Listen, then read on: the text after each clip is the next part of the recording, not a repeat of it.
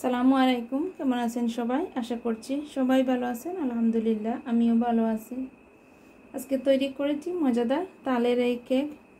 তালের এই পাউন্ড কেকটা কীভাবে তৈরি করছি, চলুন রেসিপিটা শুরু করছি। আর হ্যাঁ রেসিপি ভালো লাগলে অবশ্যই চ্যানেলটা সাবস্ক্রাইব করে পাশে থাকা রিকোয়েস্ট থাকল।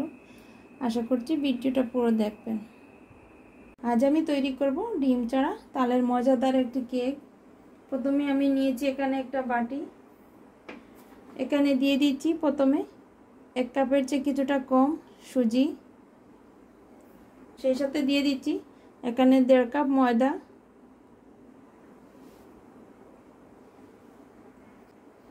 এখানে অ্যাড করে দিচ্ছি কিছুটা বেকিং সোডা অল্প পরিমাণ বেকিং সোডা এখানে দিয়ে দিচ্ছি। এবার দিয়ে দিচ্ছি এক চা চামচ বেকিং পাউডার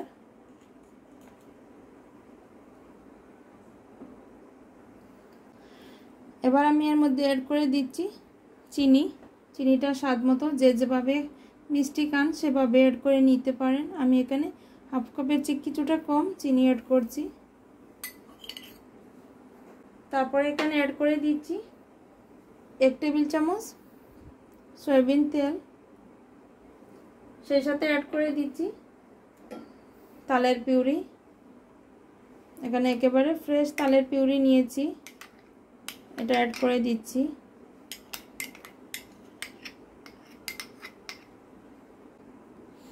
এবার আমি এর মধ্যে অ্যাড করে দিচ্ছি ফ্রেশ কুড়ানো নারিকেল।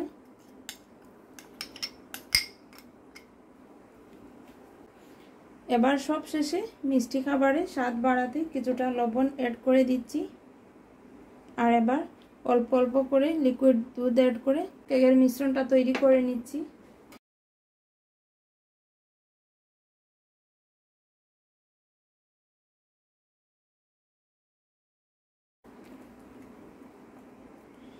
মিশ্রণটা অনেকটা আটালো হয়ে রয়েছে। এবার আমি আরও কিছুটা লিকুইড দুধ এখানে অ্যাড করে দিচ্ছি।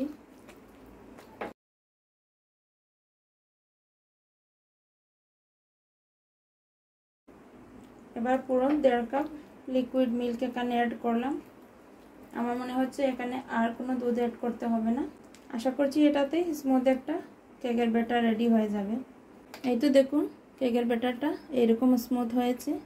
আর যেহেতু এখানে কিছুটা নারিকেল এড করেছি, একেবারে স্মুথ দেখাও যাবে না। এখন আমি যে মোল্ডে কেকটা সেট করব, সেই মোল্ডে ট্রান্সফার করে নিচ্ছি। এখানে আমি অয়েল ব্রাশ করে নিয়েছি। আমি এখন মোল্ডে ট্রান্সফার করে নিচ্ছি কেকের ব্যাটারটা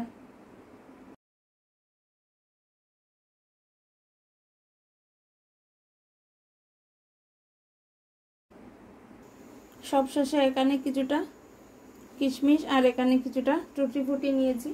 আমি এখানে কিছুটা ময়দা অ্যাড করে ওগুলো মিশিয়ে এখানে দিয়ে দিচ্ছি।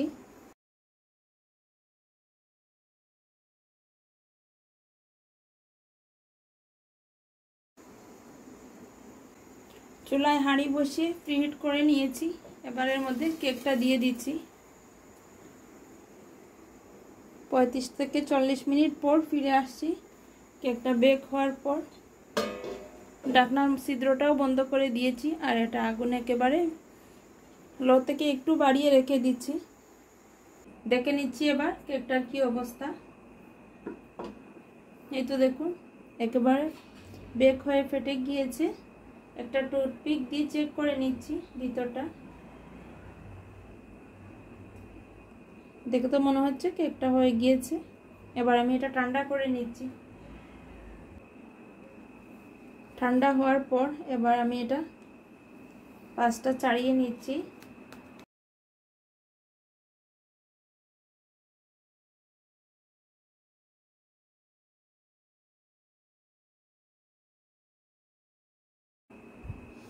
এই তো দেখুন, মোল থেকে চাড়িয়ে নিয়েছি।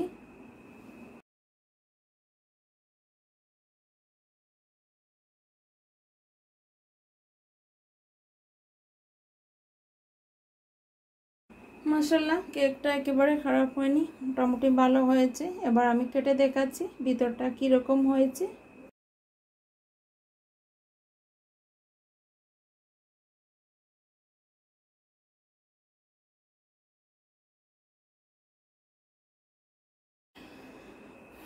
আশা করছি দেখেই বুঝতে পারছেন কতটা সফট হয়েছে, মজাদার তালের কেকটা। আর যেহেতু নারিকেল দিয়েছি কেকটা প্রথমেই বলেছি যেহেতু এটাতে নারিকেল এড করেছি, এতটা স্মুথ হবে না। তারপরও ভালো লাগলে বাসায় ট্রাই করতে পারেন। এতক্ষণ আমার সাথে থাকার জন্য অসংখ্য ধন্যবাদ জানিয়ে বিদায় নিয়ে নিচ্ছি। আল্লাহ চাইলে দেখা হবে আবার অন্য কোনো রেসিপির সাথে। আসসালামু আলাইকুম।